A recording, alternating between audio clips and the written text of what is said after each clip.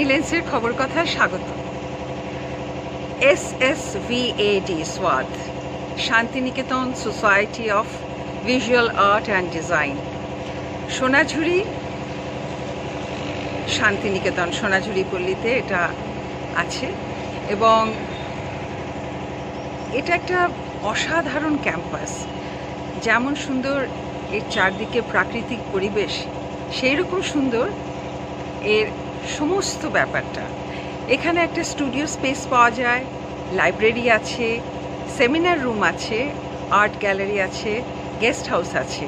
থাকার জন্য অসাধারণ জায়গা এবং রান্নাবান্না বলার নয়। যা বলবে তাই ওরা রান্না করে দেবে। খুব সুন্দর। এই সোনাঝুরি পল্লীতে এই যে আর্ট ক্যাম্পাসটা এটা করেছেন আমাদের বিখ্যাত আর্টিস্ট যোগেন চৌধুরী। এবং তার সঙ্গে তার ছাত্ররা অনেকেই জড়িত আছে। এবং এখানে কি আছে বা না আছে, মোটামুটি একটা ছবিতে ধরার চেষ্টা করেছি। দেখে নাও ইন্দ্রাণী লেন্স খবর কথায় কী এনেছে।